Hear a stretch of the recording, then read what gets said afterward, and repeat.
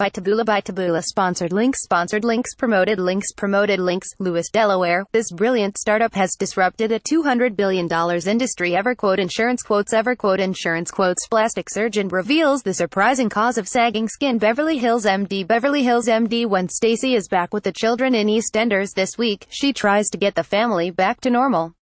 But when she disappears Martin thinks she's gone to see Max again.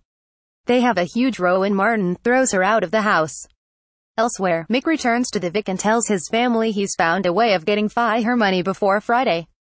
Phil and Mel team up when they realize they have to work together for the sake of their sons. Martin tells Bex he is going to fight for his children with Stacey.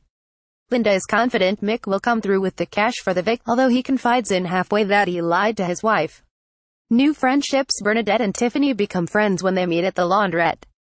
Bernadette goes back to Tiff's to do some ironing for her mum but, distracted, she burns one of Ted's shirts. Whitney walks into the Vic to find herself set up on a date with Halfway.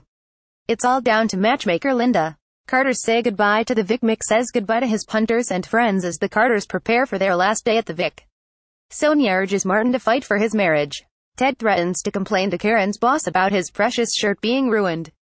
But Masood steps into the dispute, urging both of them to be more reasonable. Asterisk EastEnders, BBC One, Monday, Tuesday, Thursday and Friday.